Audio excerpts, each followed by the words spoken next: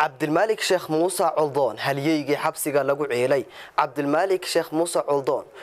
wariye ka tirsan warbaahinta jamhuuriyadda somalilan marka laga yimaado wariyenimadiisa iyo warbaahinta waxa uu ahaa samafale ay ku tiirsan yihiin kumanaan kun oo masaakiin ah. Waxa uu u kuurgeli jiray xaaladoodana soo ogaan jiray masaakiin badan islamarkaasina uu caawin jiray. Dadyowga kala duwan ee mutadawiciintiihina waxay ugu soo dhiibaan uu u geyn jiray islamarkaasina uu isku xidhiidhin jiray. Cabdilmaalik sheekh muuse coldoon haddaba xukuumadda hadda ka armisa jamhuuriyadda somalilan ayaa ku xukuntay saddex sano iyo lix bilood oo xadhig ah.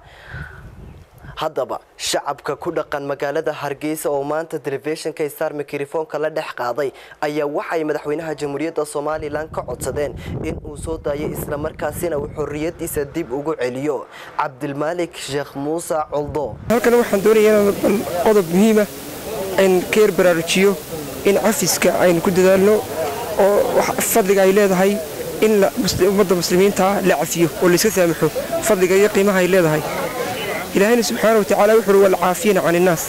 kuwa dadka iska cafiyaya wallaahu yuxibu almuxsiniin ilaahay waxa uu jeceliyay dadka muxsiniinta ee samafala waxa weeyaan haddii adigoo dad muslimiin aad tihiin oo mid ka mida uu khalad galo khalad laga waayi maayo qofka bini'aadanka laakiin khaladkiisa waa in waxa weeyaan qofka kale muslimkaahi waa inuu iska cafiyaa isagoo ilaahay ajirkiisa ilaahay ajir ka rajeynaya. Waayo adduunyada waxa weeyaan maalmo baa la joogaa maalmo kooban baa la joogaa. Waxa weeyaan in laysku tanaasulo in waxa weeyaan wixii khayrka iyadoo ummadda maslaxadeeda iyo danta ummadda la eegayo iyo wixii khilaaf ka dhalan karo. Waa in maxaa haytoy saamaxaadda iyo cafiska lagu dadaalaa waayo waxa weeyaan maaliyin badan dhibaatada ka taagnayd ee la haystay hadda haddaanu ninku go'aan lahayn oo kudhac lahayn oo fulin lahayn dhibaatadeeda leeda marka waxaa weeyaan shaksi baan la xitamaya wax allaala wax caqliga kordhaysa ma jirto wax xigmada kordhaysa ma jirto wax macnoo ku jirta ma jirto. Madaxweyne dhan oo la xitamaya ina yaro wariye ah. Oo dal dhanba madaxweyne yahay ina yar baan la xitamaya intaasi sheekiisu dhaafir ladiba bal qaran dhan muxuu ku hogaaminaya. Waxa u dhaqato waxaasoo kale wax laga qaada sharafta laga qaraaca uu iska sii daaya qurux badan. Loo sida go'aanka leedahay ma waanan dad la xitamneenba shakhsi ahaan baan la xiteen qar ahaan baan la xiteen magaciisa iyo sharaftiisa karaamadiisa ka qoro badan ilaasho marka saasoo qurux badan iska sii daayo nooc noocaasoo kale dad sii day kareen waana waxba hayba waxba yahay buu siiro weeyaan cabdimaalig muuse coldoon waa muddo xidhan kulley saan u malaynayo inay muddo saddex sano dhowdhowa tahay. Ninkaasina runtii dee in kastaan anigu garsoore ka ahayn laakiin sida lay sheegay aanu maaragtay ninkaas wax dembiyahoo maaragtay lagu xidhay oo ama uu xagda ilaahay ka galay ama xagga aadniga ka galay midna aan lay sheegin. Laakiin ahaa nin maaragtay samafale ah oo dadka danyartaa maaragtay u samafala oo nin maaragtay xagga ilaahay subxaanahu wa ku xidhan ah madaxweynaha oo in badanna ka reebay oo dad badan oo maaragtay uu cafis maaragtay fidiyey. Mar walbana ninkaa ka reebay maaragtay dadka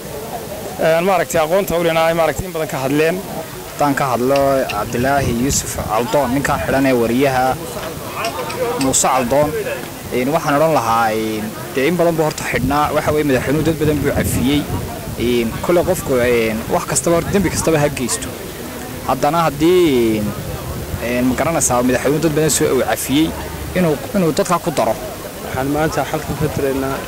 cabdimaalig yuusuf caldoon samafalaha uu dadka u naxariisan jiray nuqaa oo reer burcaa waxaan ku codsanaa madaxweynaha jamhuuriyadda somalilan